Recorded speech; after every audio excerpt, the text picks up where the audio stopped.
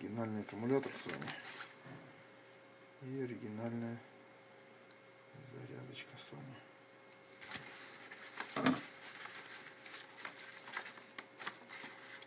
Понятное дело, со шнурком оригинальным.